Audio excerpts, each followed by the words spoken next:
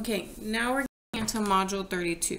And in module 32, we start to shift a little bit from the polynomial information to rational functions. And rational functions just means functions that um, have fractions. So you'll have x's in the denominator, okay? So this is the beginning of it. So the first thing we need to do when it comes to rational functions is talk about something that we haven't talked about before, which are called asymptotes, okay? And asymptotes are basically invisible lines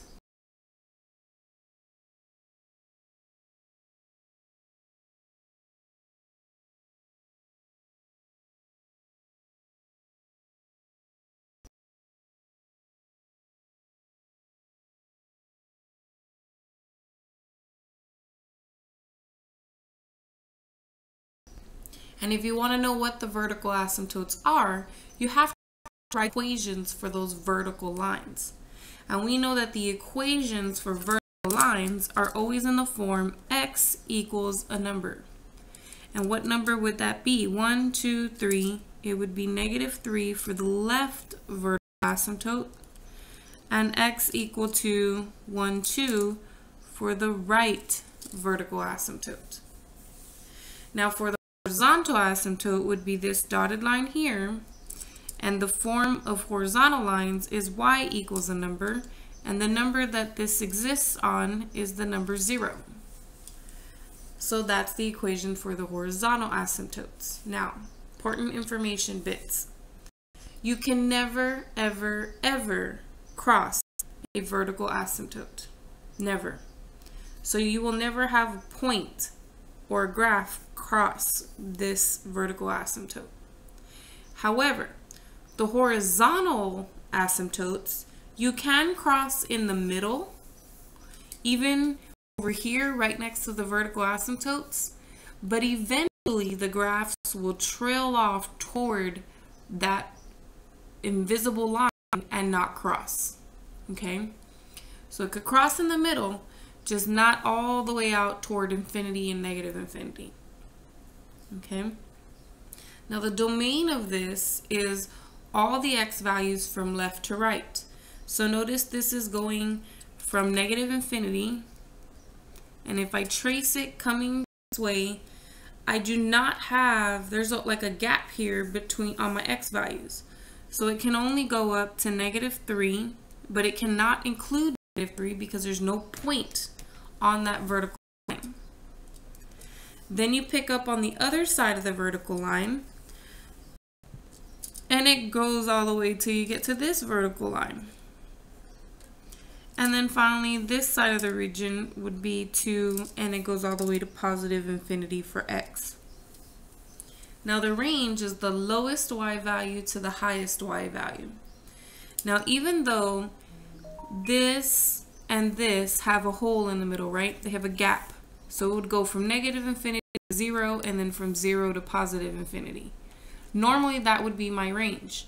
But this middle part does not have a break. It consistently has y values from negative infinity all the way up to positive infinity. Therefore, that overrides the fact that there's a gap for the other two pieces of the graph. So the range here is negative infinity to infinity because of that middle section here. Now, for the x-intercepts, they only want the x values. I only have one x-intercept right there, and it's at positive 1. The y-intercept, I have one y-intercept here, and it's at positive 2. Okay, so now we're going to do the next example equations of my vertical asymptote. I only have one vertical dotted line and it is at x equals 3. I have one horizontal line and it's at y equals 1. The domain here is from negative infinity to this vertical asymptote, so negative infinity to 3. Then it picks up on the other side and goes all the way to positive 3. So 3 or goes to positive infinity. So 3 to positive infinity. The range is from bottom to the top. So I start off going to negative infinity and it goes up, up, up, up, up until it reaches this y value of 1 and then it jumps over to this side and it goes all the way up to positive infinity. So my range is going to have a break in it. This y value is that break in the graph. My x-intercepts, I have one x-intercept here at 6. And then my y-intercept, I have one y-intercept there at 2. So, so far that's all they expect me to do. Now here it talks about finding the asymptotes of a rational function. So we want to find the vertical asymptotes and we want to find the horizontal asymptotes. To do that, we need to know some information about how you find that, okay? And it looks like my purple pen is running out here, so I'm going to have to toss that one and let me grab another one.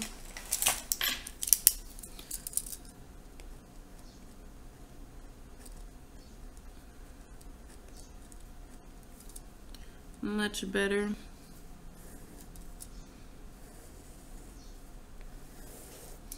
Okay, so the first thing we know is for vertical asymptotes.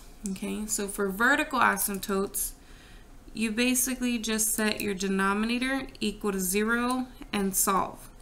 And you'll figure out the equations for the vertical asymptotes. For the horizontal asymptotes, those are a little bit different, okay? Those you have to compare degrees. And you have one of three cases. If the degree of the numerator equals the degree of the denominator, then you have a horizontal asymptote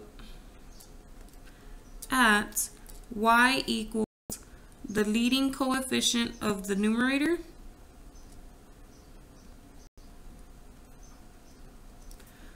over the leading coefficient of the denominator.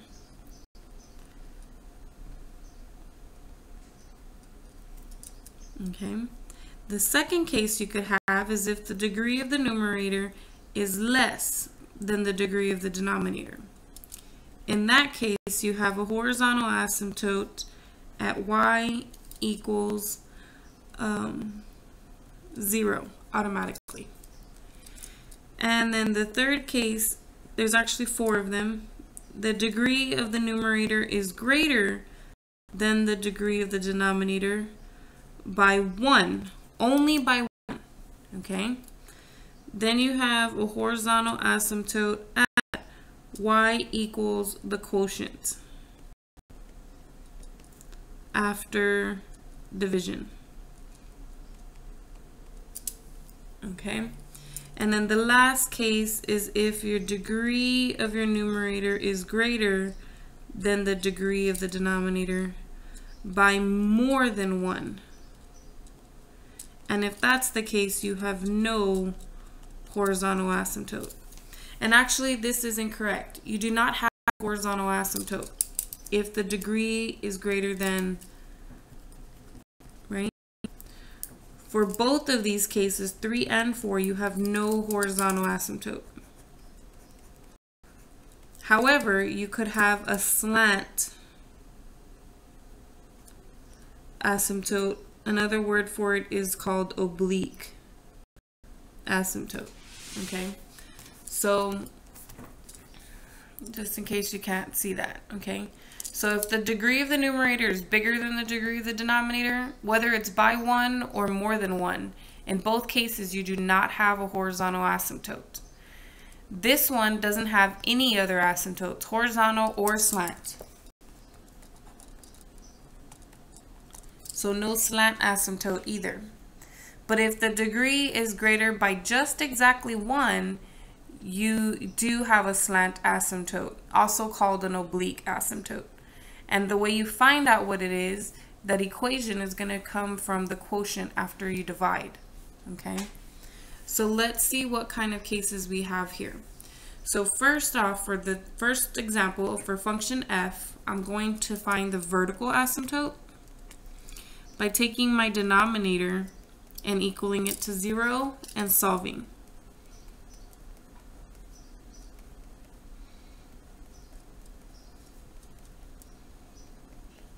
And so this is my vertical asymptote. For my horizontal asymptote, I'm going to look at the degree of my numerator and the degree of my denominator and compare. Now the degree is the highest exponent of x. Notice that in my numerator, I don't have any x's. So my degree for my numerator is 0. However, in the denominator, I do have x, and that exponent is 1. So the case I have is where my degree of the numerator is less than the degree of the denominator. And in that case, my horizontal asymptote is automatically at y equals 0. Okay, let's look at G. So for vertical asymptote, we're going to set our denominator equal to 0. For horizontal asymptote, we're going to compare the degrees. The degree of a constant is 0, and the degree of a linear is 1. So I have um, the degree of the numerator is less than the degree of the denominator. So my horizontal asymptote is at y equals 0. And then finally, my last one, for vertical asymptote, we take the denominator equal to 0.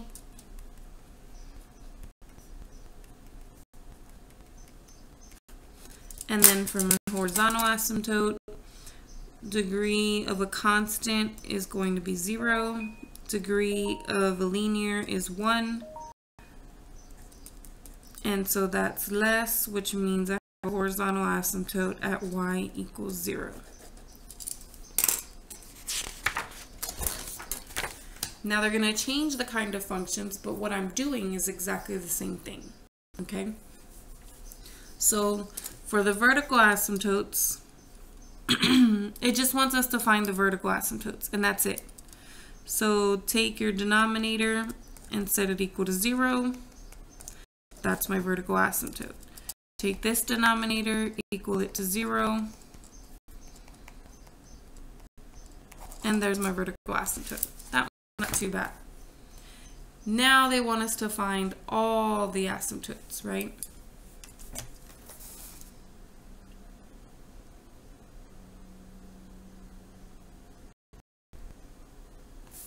Oh, this one wants us to graph the vertical asymptotes. So basically you're going to, in ALEKS, pick the dotted line. And at 1, 2, 3, 4, you're going to put the dotted line there. Okay. Same thing with this. This is, this is basically 3.5. So you're going to put the dotted line in between 3 and 4. Okay. Now here it tells us to find the horizontal and vertical asymptotes um, of these functions. So vertical, take the denominator and equal it to 0. There's your vertical asymptote.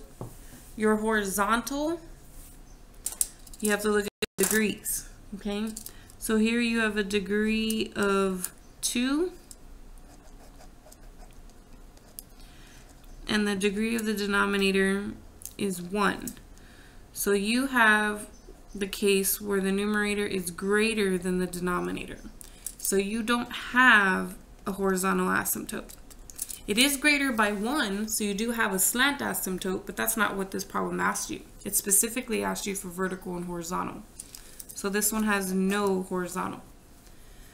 And so then I would only graph this one here a vertical dotted line at negative one half or negative one and a half. Now for this problem, we take our denominator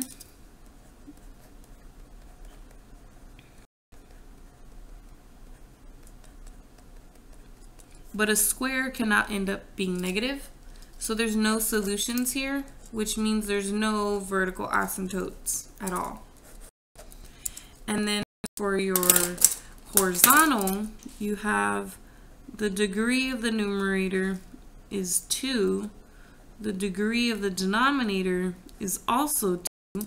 So then your horizontal asymptote is at y equals the leading coefficient of the numerator over the leading coefficient of the denominator.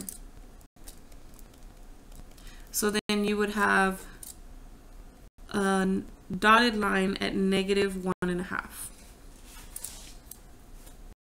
But no vertical asymptote to draw.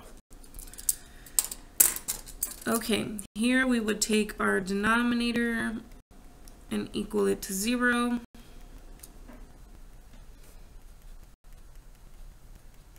So I get x equal to 1. And then you would compare your degrees. So the degree of the numerator is 1. The degree of the denominator is 2. So you have the case where the numerator is less than the denominator. So there's automatically an asymptote y equals 0. So when you draw this one, you would have to draw the vertical at 1 and then the horizontal right on top of the x-axis at 0. So here we're going to take our denominator equal to 0.